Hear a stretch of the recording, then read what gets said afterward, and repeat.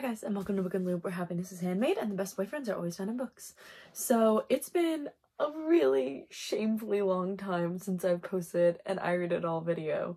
And I'm guessing that you guys probably think that I've completely forgotten about the fact that I've been doing this, but I'm here to tell you that no, I have not.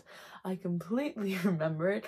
I've just been slacking on my reading and posting um, since uh, the last time I posted I Read It All, which was in September, which is now crazy long ago because we are officially into 2023 now.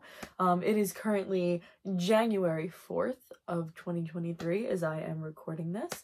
Um, and so that means that we have about three months of I Read It All to catch up on. I read a total of one book in October, one book in November, and five books in December in order to total up for October, November, and December a total of seven books. So, not great. Could definitely be a lot better. But we're not going to complain. We're just going to keep chugging on through. And so, without further ado, let's jump into it.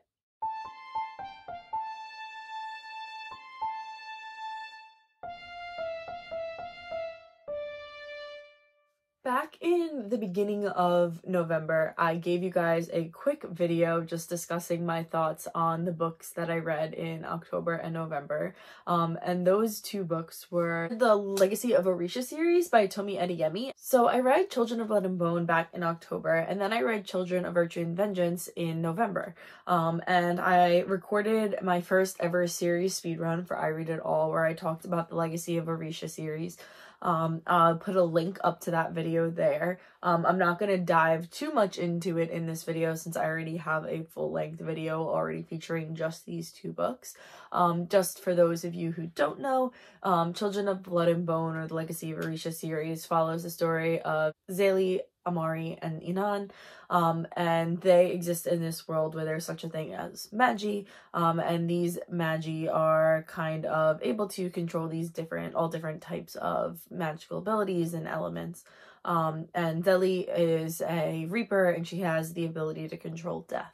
Um, and a long, long time ago, Amari and Inan, who are siblings, their dad, um, who's the king, um, decided to get rid of all of the Magi and leave just the diviners behind, who are the children of the Magi who are able to one day become Magi, but they have to first go through a ritual that the Magi um, basically performs in order to bring the diviners into their full-fledged powers. So the king basically destroys all the magi, um, thinks that he has saved the kingdom. The diviners now are living as the lowest of the low in the citizen totem pole.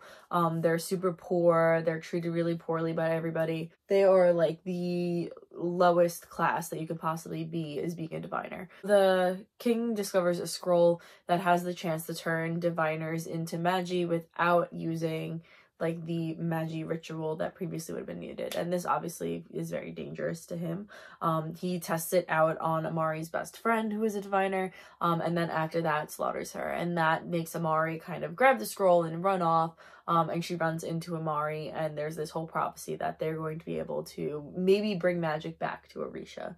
Um, and so it's like a really, it was a really great story. It was really action packed and fast paced. It took me way longer than I wanted to to get through it because of the fact that it was, um, like just so in depth in its world building. It took me some time to kind of go into that after reading so rapid fire a bunch of contemporary books.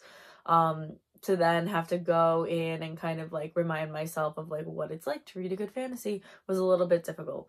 Um, but I wound up really loving it in the end anyway. There's supposed to be a third book eventually. Um, I cannot wait for it to come out. I'm super excited.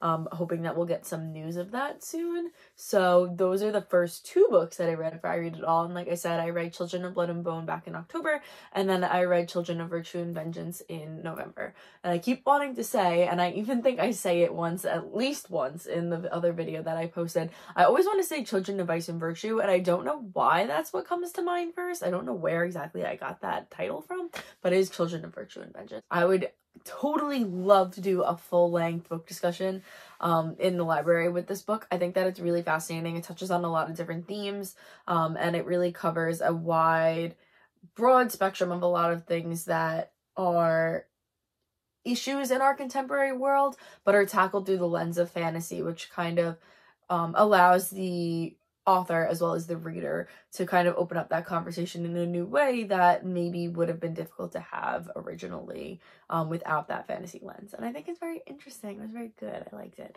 Um, so that is Children of Blood and Bone as well as Children of Virtue and Vengeance by Tomi Adeyemi. And I definitely recommend reading them. Super good. So the next books that I have for you um, are both by Dahlia Adler. Um, these are the ones that I started to read. I actually started to read the first one a little bit in November, um, but I didn't finish it until December, and then I read the rest of the books that I read in December. Um, so the first one that I have to talk about is Cool for the Summer by Dahlia Adler. Cool for the Summer tells the story of Lara, and it, it, the book title is, in fact, Demi Lovato inspired. Um, and Lara's mom works for this businessman um, who has a house down in the Carolinas. Um, and so when it comes time for summer, um, Lara's mom tells her that she is going to be going down to the Carolinas in order to um, be with her boss during the time that he's down there so that she could still help out on different tasks and stuff, and that Lara is going to be coming with her. Um, while there, she meets the boss's daughter, um, and the two kind of hit it off right away and form this really unlikely friendship um, that maybe develops into something a little more. So while down there, Lara kind of has this very um, transformative year, um, this transformative summer that she kind of really steps into herself and who she is as a person and she's more confident and she's kind of like taking all these different risks and like kind of just comes back to her senior year of high school with a totally new attitude and a totally new outlook on life, mainly driven by the boss's daughter, whose name is Jasmine.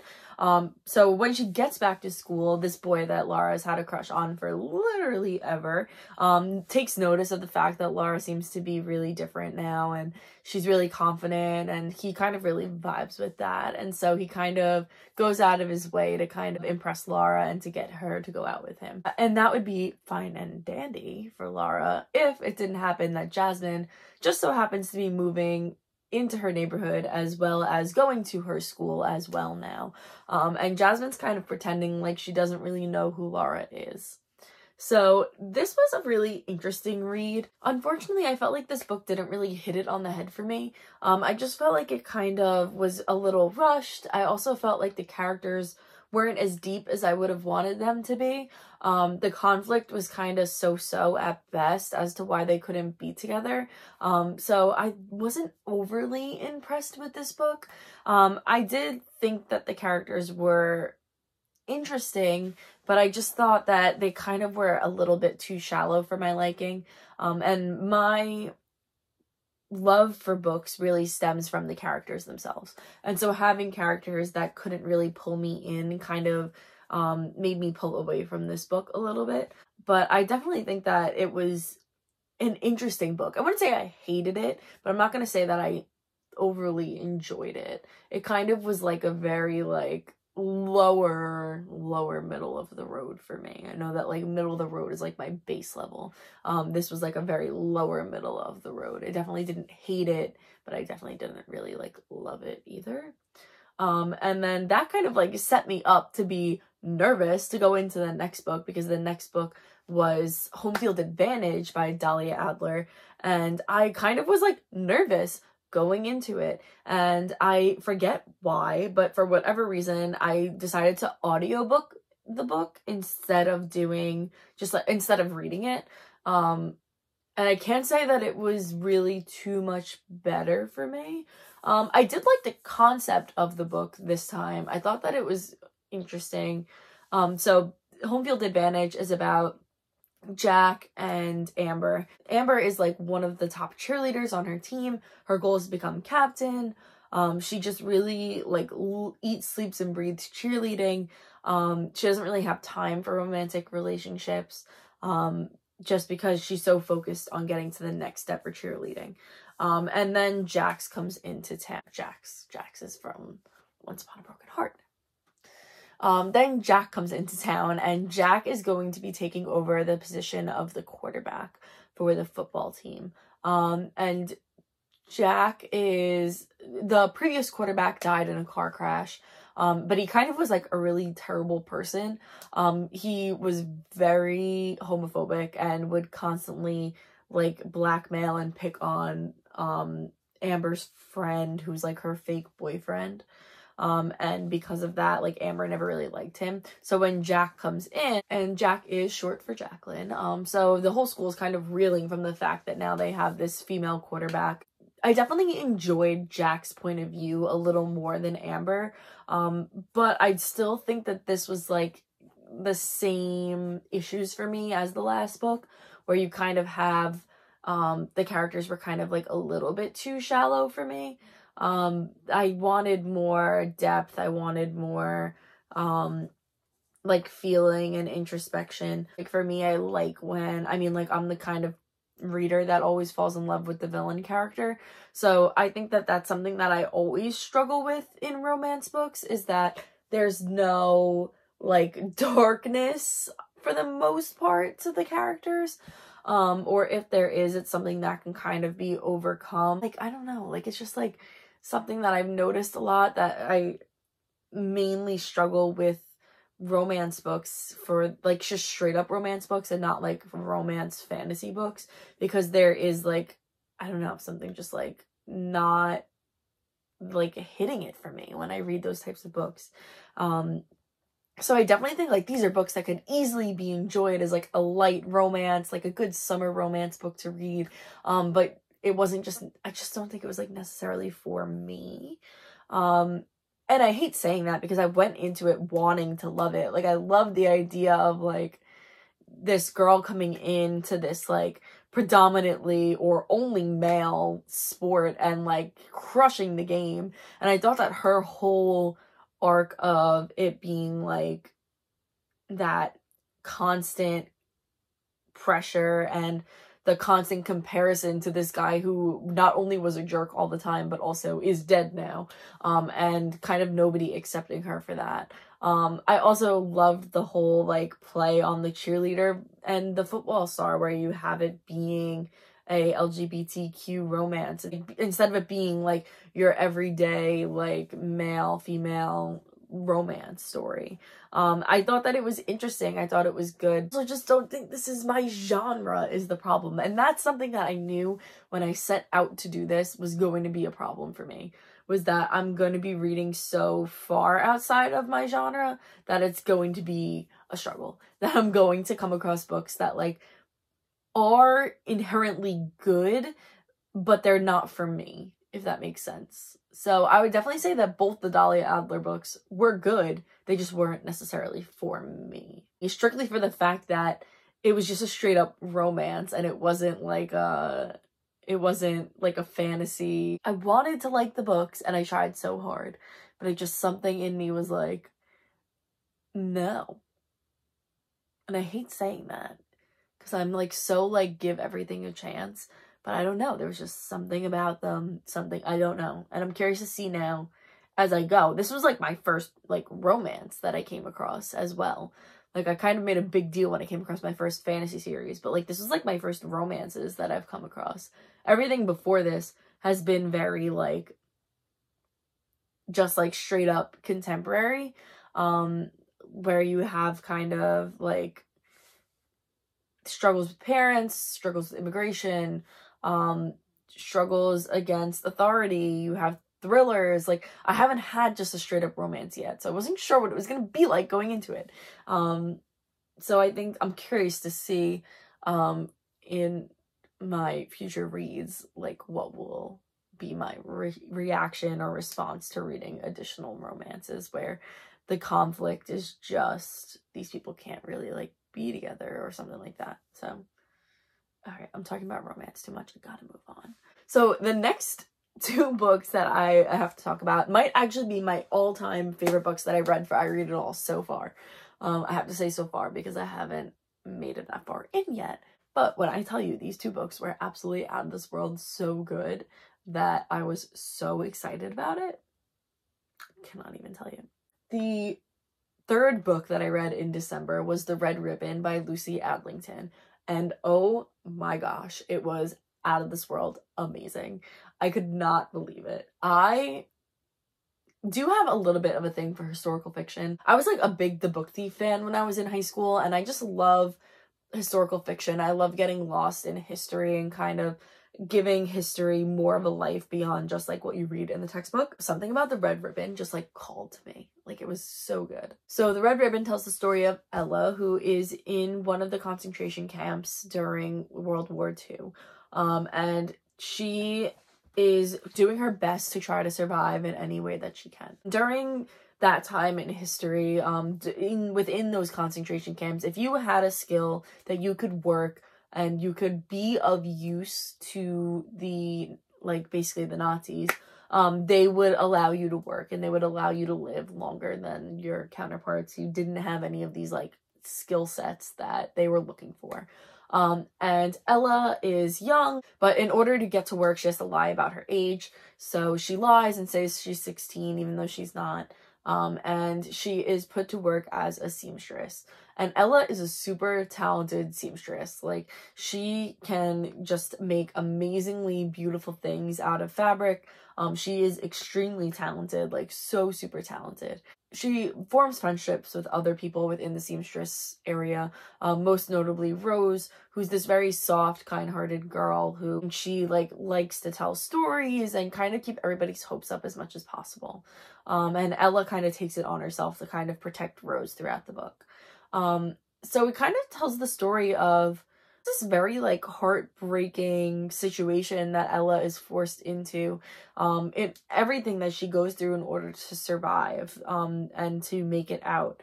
Um every step every calculation every horror that these people saw that were in these concentration camps during World War II it's just it's so heartbreaking to read and I feel like this was the most influential book that I read this year out of all the ones just because it really had me sitting and thinking and being like wow this is like and so deep. And I just think that it's a book that like everybody needs to read no matter what age you are.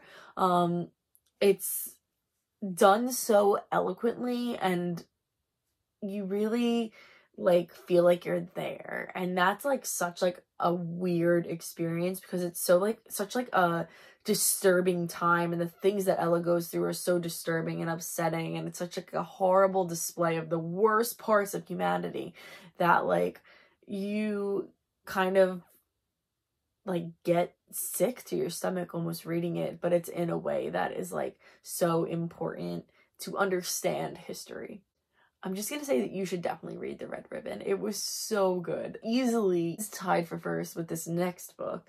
Um, and it feels so weird jumping from talking about The Red Ribbon to jumping to talking about the next book. Um, but the next book that I read was The Charmed List by Julie Abe. And yes, this is Abe as in A-B-E. Um, so I had mentioned a while ago that if we had gotten any new acquisitions at the library, um, I would use December as my time to jump back um, and read any of the books that we got that I had already passed the letter for. Um, and we got Julie Abe's The Charmed List. Um, and so I went back and picked it up and oh my gosh, this probably would have easily taken the cake for being the best book that I had read for I Read It All in 2022. Um, I cannot even tell you, it was so good, so amazingly good. So it is an urban fantasy, friends to enemies to lovers book.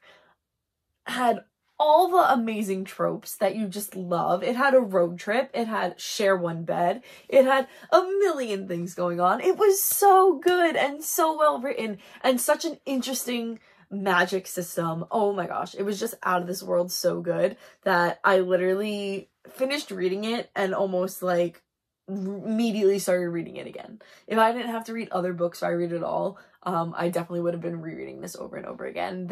It was just so good. So Ellie lives in Silicon Valley um, within the magic aware community.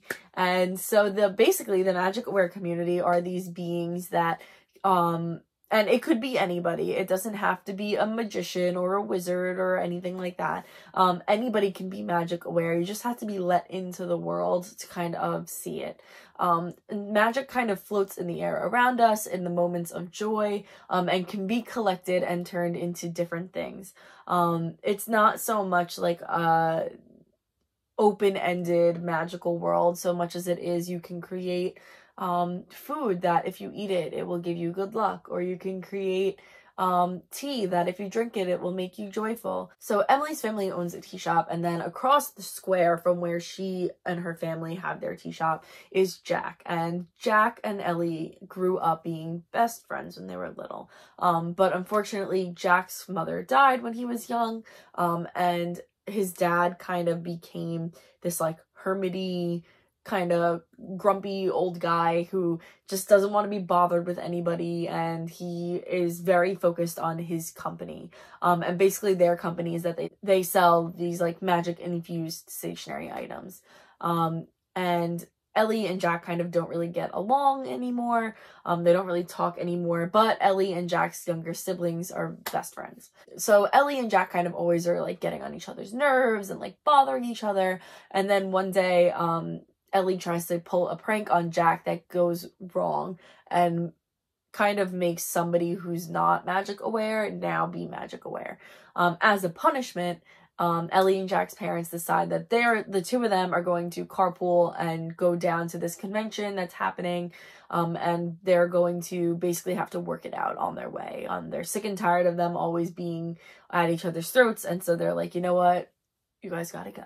So it is just, it was such a sweet story. I literally just like fell in love with the characters. I thought Jack was really great. I thought Ellie was really great. I didn't feel like the relationship was too forced. I love things where you have like that friends to enemies to lovers because I feel like it puts the characters in such a unique position where they know so much about each other um and even though they do on the surface hate each other, they can't help but love those parts that they do know or remember from when they were friends. So it was just so good, and I definitely recommend reading it. Um, it was just like one of those like super feel good, happy books that you're just like, oh, I guess now that I'm thinking about it. See, but this is different. So here, this is what I was saying earlier, how Home Field Advantage and Cool for the Summer were both just regular romances, right? So I would say that the Charmed list is a romance, but I would say that it was also an urban fantasy. So it had that magic system to it that kind of created like an extra layer in there. It wasn't just like a straight up romance. Like it was like you had the whole danger of them kind of like having to hide their magic and the consequences of them revealing it to somebody. Like there was like this whole like extra element that i thought made it like so much more fun.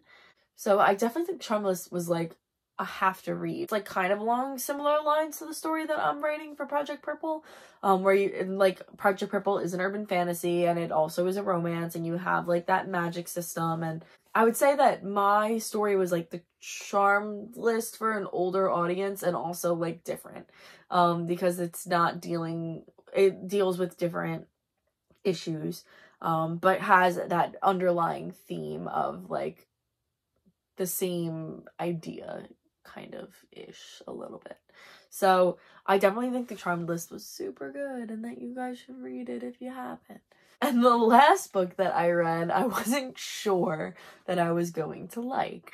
Um, I'm not a paranormal romance kind of gal. Um, we have established very greatly in this video that I'm not much of a romance kind of person. Um, not much of a straight up romance kind of person.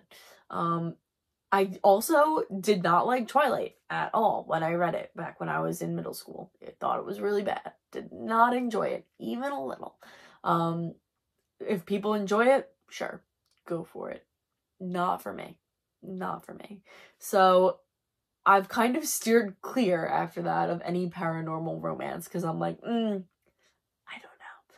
But even so, um, I had no choice but to read the next book on the shelf, and that was Ghost House by Alexandra Adornetto. And let me say, I was pleasantly surprised by this one. I did not think I was gonna like it. I thought that it was going to be like literally miserable reading it. But I will say, I didn't like it for the romance part. I did not think the romance was enjoyable. I thought it was very weird and very stretched out. I thought that it was just not for me at all, not my cup of tea.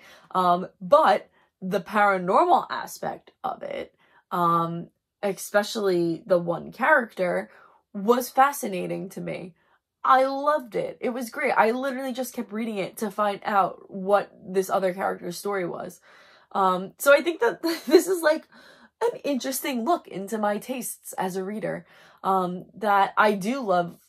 I like when the characters get together and I like when like you people fall in love. I enjoy it, but I like when there's a, a little something more to the story than just the romance aspect. Um, I like a little more a little more oomph in my story, if you know what I'm saying. So, The Ghost House by Alexandra Adornetto tells the story of Chloe, and Chloe recently lost her mother, um, I believe in a car accident. I don't know that they officially ever say how her mom passed, but um, basically, Chloe, since she was little, has been able to see ghosts, and she hasn't seen them in a long time, but once her mother dies, the ghosts start showing up again at like her house in her room. Um they're never like evil spirits. They're always kind of just standing there kind of watching her. Um and chloe just kind of doesn't know how to kind of turn them away. Um she's kind of very stressed out after her mother dies and her grandma kind of notices this and says hey come stay with me in england for a while with me you and your brother. Um let your dad kind of grieve on his own and you come stay with me in england. She goes to england to go stay with her grandmother during winter break. Um and while she's there she meets this ghost named alex. She is instantly drawn and attracted to alex um who is might i remind you a ghost the only issue with this, other than the fact that he's a ghost, um, is that there is another spirit also haunting the grandmother's mansion house. Um, and her name is Isabel. And Isabel and Alex used to be a thing 157 years ago when they were alive. Um, and Isabel is not too happy that Chloe is there, as well as the fact that Chloe is into Alex and Alex seems to be into Chloe. Um, and so she has been spooking up the place and doing like a whole bunch of crazy things around the mansion in order to try to scare Chloe. Um, and she is a very evil ghost. Um, she has, as a ghost, killed people in the past. Um, and she is not afraid to do it again if it means that she and Alex can be together forever. Um, and so I loved the book for Isabel's plotline. I thought it was fascinating. I loved kind of getting the little bits and pieces of her story and like finding out more about her and why she was so angry. Um, I thought that it was just really good. I liked that part of it. The romance part, I could have left behind. I get that that was like the big part of like why um Isabel was mad and like it was a hint into like Isabel's whole story, but I don't know. I felt like it was like too insta love. Like literally like it was like not even like their first time meeting and Chloe was like, I think I love him. Like hold on. Slow your roll, girl. Please. Um, I literally just wasn't too keen on the romance aspect. And I think that that was like kind of the theme of this I read it all was that like the romance really like threw me. Um I feel like I'm not normally overly bothered too much by it. Um I just wasn't overly impressed or happy with them. Um I mean the romance in Children of Blood and Bone was great. Charmed List was great. Loved it. There wasn't really any romance in the Red Ribbon. But the other three, the romance aspects, I was like, just like could not get behind it, was not feeling it. I think, honestly, now I'm thinking about it and talking about it, I think that one of the problems was that the author for these books, so the Cool for the Summer, Home Field Advantage, and even Ghost House, they didn't give us enough of a reason as to why the characters should be together. Um, as to why they were so drawn to each other um, what it was about this specific person that they liked so much. Um, Cool for the Summer kind of did. They explain a little bit that Jasmine kind of like pushed Laura into changing a little bit, but even that was kind of like very like short-winded and not like enough of an example as to why. Um, I just feel like there were kind of just a lot of uh like rushing through the build up of the romance, and maybe that's why. I feel like maybe that's why because now that I'm thinking about it, like the charmed list, there was a lot of history like before, and it was like kind of like a very like slow build up to them being together. Um, and Children of Blood and Bone was kind of like the same because there was like a lot of build up before the characters got together. I mean, this was like a hefty book, and like I would say the characters didn't get together until like 85% of the way through. So it was like a lot of build up and tension and the other books were kind of like, I don't know, 20 pages in for the most part. Especially Home Field Advantage and Ghost House. We were like maybe like not even 20% of the way in before the characters were like, I'm in love with you. And I was like, mm. like, I just, mm, I don't like that. I like when you have the build up. And I'm thinking, I'm going to stick with that as my final answer of why I didn't enjoy those three books this I read it all session because it just felt too insta love and I can't get on board with that. But cool for the summer, I don't know. That was I wouldn't mm, I wouldn't say that was really like insta love. I think that was an issue of the characters. I think the characters were not in depth enough for me. Um, and then home field advantage, the characters were more in depth, but at the same time, it was like literally not that far into the book when they were like, oh, they got together. And I just don't like books like that. I like when there's like a long build up. That's why I like a series. Like I like when there's like a long build up to the romance and we get to get all the tension and we get to get all like the lingering looks. But like when it's just like they jump into it, I'm always like, mm, don't really enjoy this. Um, so I think that that's why. I'm going to stick with that as my reasoning for why. Those are the seven books that I read for I Read It All from October until December. Um, that kind of ends our 2022 season of I Read It All. I'm going to be doing a top highlights of I Read It All for 2022 and hopefully posting that soon, not long after this one. Um, just so that I can kind of give you guys an overview of what I think the top books that you guys should be checking out are. Um, so yeah, so just a quick recap the five the six the seven books that i read um from october to december were children of blood and bone and children of vice not right children of virtue and vengeance by tomi adeyemi um and then i read um, Cool for the Summer and Home Field Advantage by Dahlia Adler. And then it was The Red Ribbon by Lucy Adlington, and then it was The Charmed List by Julie Abe, and then I finished off the year with Ghost House by Alexandra Adornetto. So that is going to be all from me for this I Read It All video. I hope you guys enjoyed this one. Um, the next one that will be coming, like I said, is going to be my top highlights for the year. Um, and then hopefully not long after that, I will be giving you guys the next series speed run, which will be for the Halo series by Alexandra Adornetto. I'm about 200 pages into the first book, um, and it has much the same insta love that the other book did. So I'm very interested to see how this is going to play out because it's a series. So we will see.